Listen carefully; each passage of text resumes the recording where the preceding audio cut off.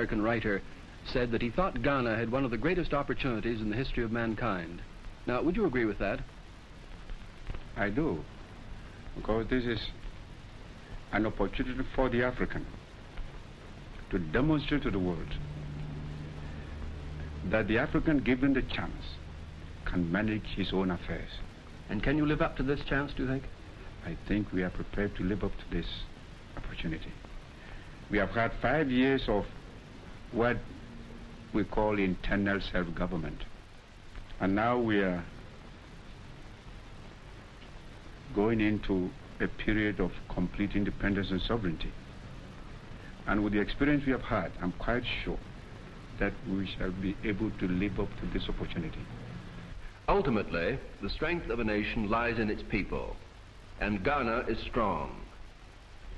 This is the village of Apapam, enclosed by hills. The next village is eight miles away as the crow flies, but more than a hundred by the existing road.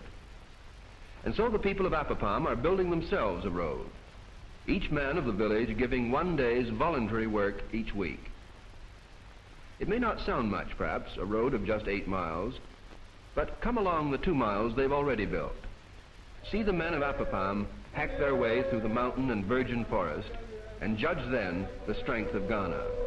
yadamuwasiyo omi paani ngonam omi paani ngonam na di ẹsan ẹsan ni wọn yẹ bi ẹfẹ yewu yoo.